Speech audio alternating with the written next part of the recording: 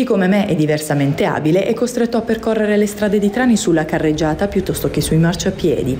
Comincia così la lettera che Gennaro Palmieri, presidente dell'Associazione Tranese Unione Lotta alla Distrofia Muscolare, indirizza al sindaco Amedeo Bottaro e che non avrebbe ricevuto risposta. Abbiamo fatto con il signor Palmieri una passeggiata lungo il quadrilatero che da via Goffredo porta a via Lambertini in pieno centro per comprendere la reale difficoltà che lui, come qualsiasi altra persona non disabile ma munita di passeggino, potrebbe riscontrare. Questa una strada che io da promotore di accessibilità ho richiesto che si potessero fare questi benedetti scivoli perché ho badato sempre alla continuità del percorso.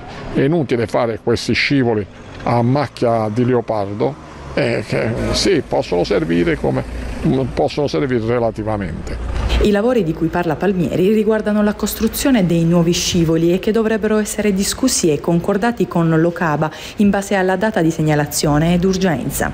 Questo però pare non stia avvenendo più negli ultimi tempi con l'amministrazione Bottaro. Ho fatto orecchie di mercanti dimostrando la poca sensibilità, come ho citato sulla lettera, e mi vorrei anche azzardare a dire la poca educazione, perché una risposta la poteva dare. Non soltanto Palmieri avrebbe tentato di mettersi in contatto anche con gli uffici tecnici e l'assessorato che per Costituzione dovrebbe avere a cuore il tema. Ho pregato anche l'assessore alla disabilità che non dobbiamo badare a fare nuovi scivoli per dire che a Trani abbiamo fatto 300 scivoli, perché sostanzialmente gli scivoli praticabili sono quelli di ultima generazione, quelli che sono stati fatti bene.